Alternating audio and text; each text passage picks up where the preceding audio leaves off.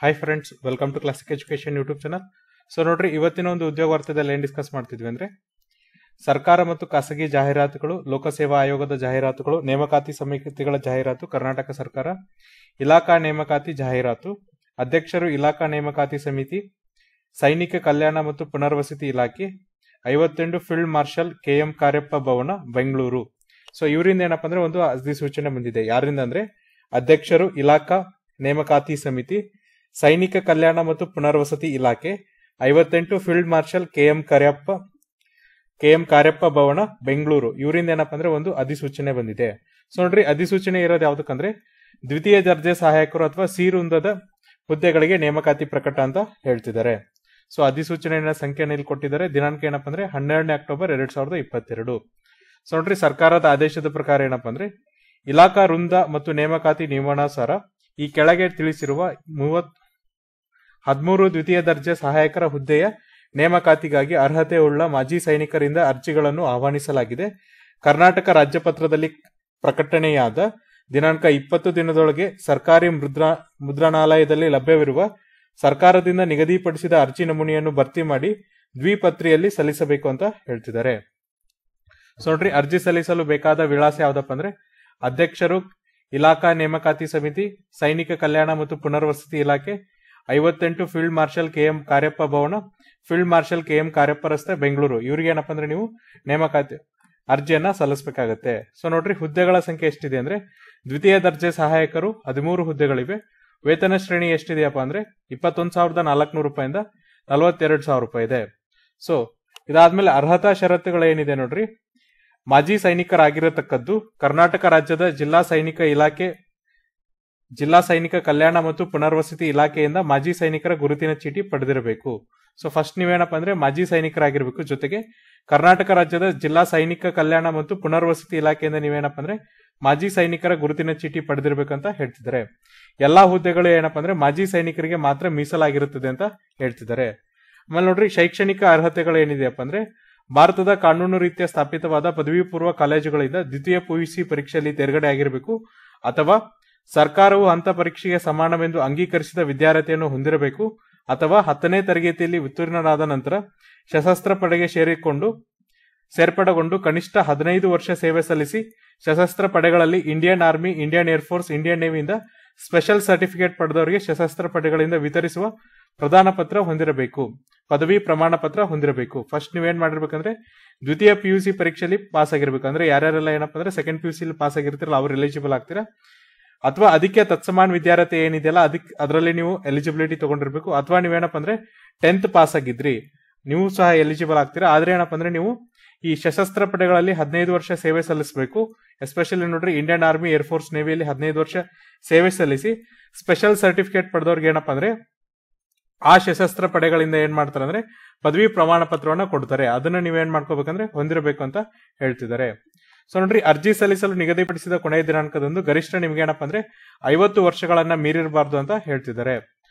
So, ನೇಮಕಾತಿ ವಿಧಾನ ಯಾವ ತರನಾಗಿದೆ ನೋಡ್ರಿ? ಸದರಿ ಹುದ್ದೆಗಳನ್ನು ಕರ್ನಾಟಕ ನಾಗರಿಕ ಸೇವೆಗಳು ನಿಯಮಗಳು ಎರಡ್ ಸಾವಿರದ ಇಪ್ಪತ್ತೊಂದರ ಉಪನಿಯಮ ಆರು ಎರಡರ ಪ್ರಕಾರ ಸ್ಪರ್ಧಾತ್ಮಕ ಪರೀಕ್ಷೆಯಲ್ಲಿ ಗಳಿಸಿದ ಅಂಕಗಳ ಶೇಕಡಾವಾರು ಪ್ರಮಾಣದ ಆಧಾರದ ಮೇಲೆ ಹಾಗೂ ಚಾಲ್ತಿಯಲ್ಲಿರುವ ಮೀಸಲಾತಿ ನಿಯಮಗಳನ್ವಯ ಆಯ್ಕೆ ಮಾಡಲಾಗುವುದು. ಪರೀಕ್ಷೆಯ ಸಮಯ ಮತ್ತು ಸ್ಥಳದ ಮಾಹಿತಿಯನ್ನು ನಂತರ ತಿಳಿಸಲಾಗುವುದು ಅಂತ ಹೇಳ್ತಿದ್ದಾರೆ.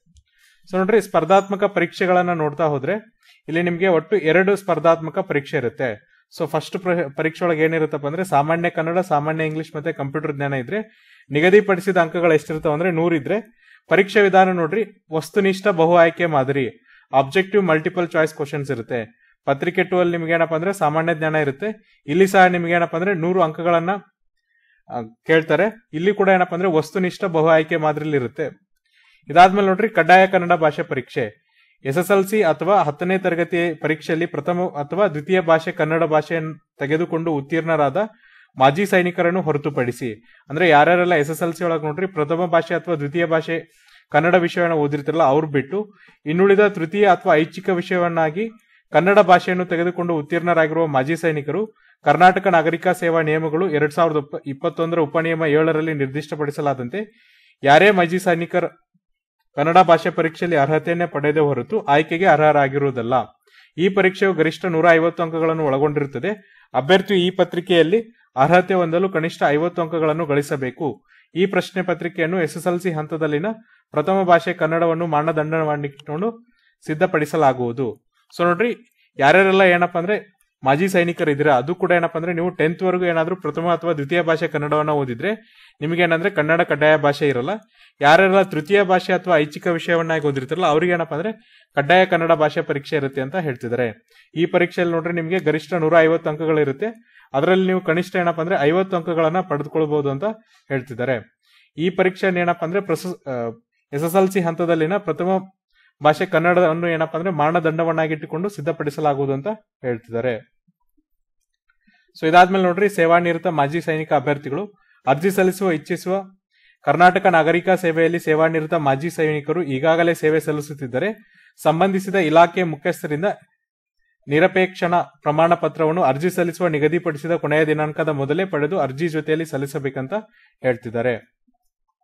ಇದಾದ್ಮೇಲೆ ನೋಡ್ರಿ, ಅಭ್ಯರ್ಥಿಗಳು ಈ ಕೆಳಕಂಡ ನೆರಳಚ್ಚು ದಾಖಲೆಗಳನ್ನು ಸ್ವಯಂ ದೃಢೀಕರಿಸಿ ದ್ವಿಪರ್ಥದಲ್ಲಿ ಅರ್ಜಿಯ ಜೊತೆ ಸಲ್ಲಿಸಬೇಕು ಅಂತ ಹೇಳ್ತಿದ್ದಾರೆ. ಮಾಜಿ ಸೈನಿಕರ ಸೇವಾ ಪತ್ರ ಸೈನಿಕ ಕಲ್ಯಾಣ ಮತ್ತು ಪುನರ್ವಸತಿ ಇಲಾಖೆಯಿಂದ ವಿತರಿಸಲಾದ ಗಣತಿನ ಗುರುತಿನ ಚೀಟಿ, ದ್ವಿತೀಯ ಪಿಯುಸಿ ಅಥವಾ ಅದರ ತತ್ಸಮಾನ ಪರೀಕ್ಷೆ ಅಂಕಪಟ್ಟಿ ಅಥವಾ ಹತ್ತನೇ ತರಗತಿಯಲ್ಲಿ ಉತ್ತೀರ್ಣರಾದ ನಂತರ ಸಶಸ್ತ್ರ ಪಡೆಗೆ ಸೇರ್ಪಡೆಗೊಂಡು ಕನಿಷ್ಠ ಹದಿನೈದು ವರ್ಷ ಸೇವೆ ಸಲ್ಲಿಸಿ ಸಶಸ್ತ್ರ ಪಡೆಗಳಲ್ಲಿ ಇಂಡಿಯನ್ ಆರ್ಮಿ ಏರ್ಫೋರ್ಸ್ ನೇವಿಯಿಂದ ಸ್ಪೆಷಲ್ ಸರ್ಟಿಫಿಕೇಟ್ ಪಡೆದವರಿಗೆ ಸಶಸ್ತ್ರ ಪಡೆಗಳಿಂದ ವಿತರಿಸಿದ ಪದವಿ ಪ್ರಮಾಣ ಪತ್ರ ಸೇವಾನಿರತ ಮಾಜಿ ಸೈನಿಕರು ಸಂಬಂಧಿಸಿದ ಇಲಾಖೆ ಮುಖ್ಯಸ್ಥರಿಂದ ಪಡೆದ ನಿರಪೇಕ್ಷಣಾ ಪ್ರಮಾಣ ಪತ್ರ ಪರಿಶಿಷ್ಟ ಜಾತಿ, ಪರಿಶಿಷ್ಟ ಪಂಗಡಕ್ಕೆ ಸೇರಿದ ಮಾಜಿ ಸೈನಿಕರು ಜಾತಿ ದೃಢೀಕರಣ ಪ್ರಮಾಣ ಪತ್ರ, ಪ್ರವರ್ಗ ಒಂದು, ಪ್ರವರ್ಗ two A two B three A three A ಸೇರಿದ ಮಾಜಿ ಸೈನಿಕರು ಜಾತಿ ಮತ್ತು ಆದಾಯ ದೃಢೀಕರಣ ಪ್ರಮಾಣ ಪತ್ರ, ಇಮೇಲ್ ವಿಳಾಸ ಮತ್ತು ಮೊಬೈಲ್ ಸಂಖ್ಯೆಯನ್ನು ಅರ್ಜಿಯ ಮೊದಲ ಪುಟ ಪುಟದಲ್ಲಿ ನಮೂದಿಸಬೇಕು ಅಂತ ಹೇಳ್ತಿದ್ದಾರೆ.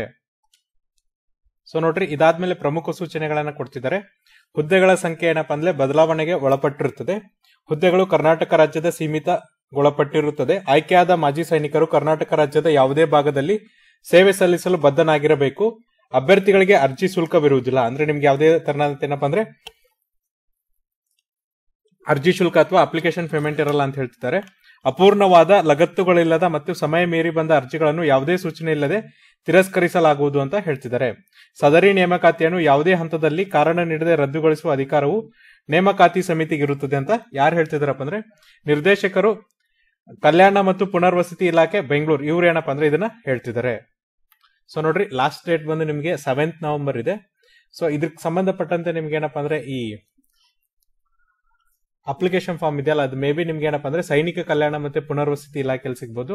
ಅಥವಾ ಆ ಸೈನಿಕ ಕಲ್ಯಾಣ ಮತ್ತೆ ಪುನರ್ವಸತಿ ಇಲಾಖೆಯಲ್ಲಿರುವಂತ ನೀವು ಹೆಲ್ಪ್ ಲೈನ್ ನಂಬರಿಗೆ ಫೋನ್ ಮಾಡಿ ಕೇಳ್ರಿ. ಯಾಕಂದ್ರೆ ನಾವು ವೆಬ್ಸೈಟ್ ಅಲ್ಲಿ ಸರ್ಚ್ ಮಾಡಿದ್ವಿ, ಸಿಗ್ತಾ ಇಲ್ಲ. ಹಾಗಾಗಿ ಅವ್ರ ಹತ್ರ ಕೇಳಿ ನೀವು ಆನ್ಲೈನ್ ಅಪ್ಲಿಕೇಶನ್ ತರಿಸ್ಕೊಂಡು ಯಾರೆಲ್ಲ ಅಪ್ಲಿಕೇಶನ್ಸ್ ಹಾಕ್ಬೇಕಂತಿದ್ದಿರಲ್ಲ, ಅವ್ರೇನಪ್ಪ ಅಂದ್ರೆ ಈ ಒಂದು ಅಪ್ಲಿಕೇಶನ್ ಜೊತೆಗೆ ಇಲ್ಲಿರುವಂತ ಎಲ್ಲ ಪ್ರಮಾಣ ಪತ್ರಗಳನ್ನ ಲಗತ್ತಿಸಿ ಯಾರಿಗೆ ಕಳಿಸ್ಬೇಕಂದ್ರೆ, ಸೊ ನೋಡ್ರಿ ಅಪ್ಲಿಕೇಶನ್ಸ್ನ ಕಳಿಸ್ಬೇಕಾಗಿದೆ ಯಾರಿಗಪ್ಪ ಅಂದ್ರೆ, ಅಧ್ಯಕ್ಷರು ಇಲಾಖಾ ನೇಮಕಾತಿ ಸಮಿತಿ, ಸೈನಿಕ ಕಲ್ಯಾಣ ಮತ್ತು ಪುನರ್ವಸತಿ ಕೇಂದ್ರ, ಐವತ್ತೆಂಟು field marshal KM Cariappa Bhavan field marshal KM Cariappa ರಸ್ತೆ ಬೆಂಗಳೂರು ಇವ್ರಿಗೆ ಕಳಿಸ್ಬೇಕು. ಸೊ ನೋಡ್ರಿ, ಇಲ್ಲಿ ಯಾವುದೇ ತರನ ಅಂತ ಏನಪ್ಪ ಅಂದ್ರೆ ಅಪ್ಲಿಕೇಶನ್ ಫೀಸ್ ಇಲ್ಲ. ಇದು ಕಂಪ್ಲೀಟ್ ಆಗಿ ನಿಮ್ಗೆ ಏನಪ್ಪಾ ಅಂದ್ರೆ ಫ್ರೀ ಇರುತ್ತೆ. ಆದ್ರೆ ಇದು ಮಾಜಿ ಸೈನಿಕ ಅಭ್ಯರ್ಥಿಗಳಿಗೆ ಮಾತ್ರ. ಮಾಜಿ ಸೈನಿಕ ಅಭ್ಯರ್ಥಿಗಳಲ್ಲಿ ಯಾರ್ಯಾರು ಏನಪ್ಪ ಅಂದ್ರೆ ಪಿ ಯು ಸಿಯನ್ನ ಓದಿದ್ದೀರಾ ಮತ್ತೆ ದತ್ಸಮಾನ್ ವಿದ್ಯಾರ್ಥಿನ ಓದಿದ್ರ ಅವ್ರು ಎಲಿಜಿಬಲ್ ಆಗ್ತೀರಾ. In case S S L C ಓದಿ ನೀವು ಹದಿನೈದು ವರ್ಷ ಏನಾದ್ರು ಸಶಸ್ತ್ರ ಪಡೆಗಳಲ್ಲಿ ಸೇವೆಯನ್ನ ಸಲ್ಲಿಸಿದ್ರೆ ಅವ್ರೇನು ಸಶಸ್ತ್ರ ಪಡೆಗಳು ನಿಮ್ಗೆ ಪದವಿ ಪ್ರಮಾಣವನ್ನ ಕೊಟ್ಟಿರ್ತಾರ, ಪ್ರಮಾಣ ಪತ್ರವನ್ನು ಕೊಟ್ಟಿರ್ತಾರಲ್ಲ ಅಂತವ್ರು ಸಹ ಏನಪ್ಪ ಅಂದ್ರೆ ಇಲ್ಲಿ ಎಲಿಜಿಬಲ್ ಆಗ್ತೀರಾ. ಸೊ ಇದು ಏನಪ್ಪ ಅಂದ್ರೆ ಇವತ್ತಿನ ಉದ್ಯೋಗ ವಾರ್ತೆ. ಇನ್ ಕೇಸ್ ನಿಮ್ಗೆ ಇದ್ರಲ್ಲಿ ಏನಾದರೂ ಡೌಟ್ ಇದ್ರೆ, ನಾವು ನಮ್ಮ ಡಿಸ್ಕ್ರಿಪ್ಷನ್ ಬಾಕ್ಸ್ ಅಲ್ಲಿ ಏನ್ ಮಾಡ್ತೀವಿ ಅಂದ್ರೆ, ಈ ಪಿ ಡಿ ಎಫ್ ಅನ್ನ ಲಿಂಕ್ ಕೊಡ್ತೀವಿ. ಆ ಲಿಂಕ್ ಅನ್ನ ಕ್ಲಿಕ್ ಮಾಡಿದ್ರೆ ನಿಮಗೆ entire P D F download ಆಗುತ್ತೆ. ಅಲ್ಲಿ ನೀವೇನ್ ಮಾಡ್ಬೋದು ಅಂದ್ರೆ ನಿಮ್ಮ ಡೌಟ್ಸ್ನ ಕ್ಲಾರಿಫೈ ಮಾಡಬಹುದು ನಾಳೆ ಮತ್ತೊಂದು ರಿಕ್ರೂಟ್ಮೆಂಟ್ನ ಡಿಸ್ಕಸ್ ಮಾಡೋಣ ಅಲ್ಲಿವರೆಗೂ ನೋಡ್ತಾ ಇರಿ Classic Education YouTube channel thank you